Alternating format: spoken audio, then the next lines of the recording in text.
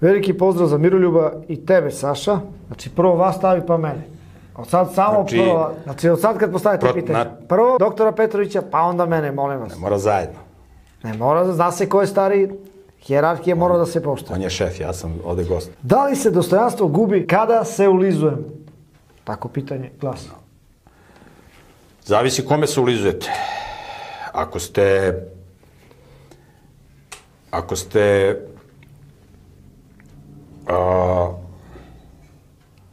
predstavnik države kojoj preti bombardovanje, spaljivanje naroda, holokaust, genocid, jer su ljudi odbacili Boga, jer žive nemoralno, jer žive destruktivno, onda vi kao predstavnik naroda možete da dođete kod sileđije kojeg je Bog poslao da prži nepokorni i nevaspitani narod i državu, onda vi možete kao predstavnik države, ako ste pametni, da dođete kod tog sileđije koga je Bog poslao, da se ponizite, da tražite pokajanje, ne da se ulizujete da lažete nešto. Mislim, ulizivanje znači lažno predstavljanje. Možete i to da radite ako ste u ratu, pa ste neki insajder i onda neprijatelja da razumete. I to može da bude neko od sredstava, ali kada je država na Božoj strani, onda takve stvari nisu potrebne.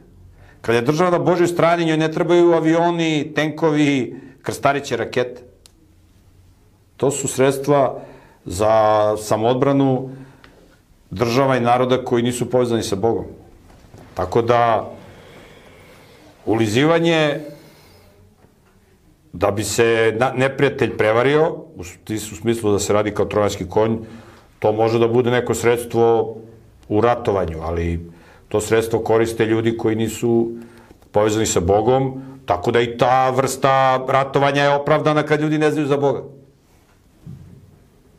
Šta je radio Vojvoda Drekale, dođe kod kući tamo popale Turke, ovo ono i Skadarski paša će sada ih razvali.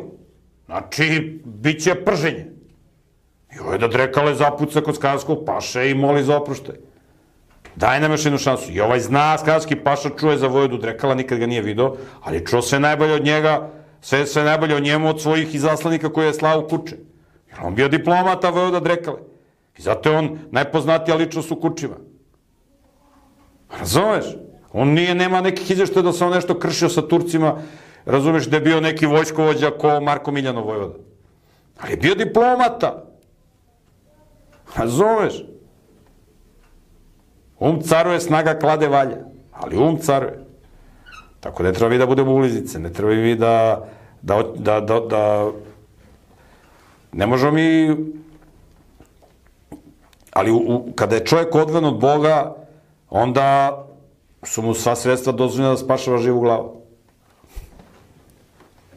Ali najbolje kad je čovjek povezan sa Bogom, onda mu ne trebaju ti alternativni putevi, alternativne tehnike da bude ulizica da bi ostvario cilj. Ali teško je danas spašavati narod i državu kad je narod polupan, voli zlo, voli destrukciju, voli greh, ide u propast i sad ti hoćeš da produžiš vreme milosti, da spasiš državu i narod, da produžiš malo vreme milosti, da se još tu neko spasi, onda moraš da primenjuješ razne neke tehnike koje nisu lepe, ali eto,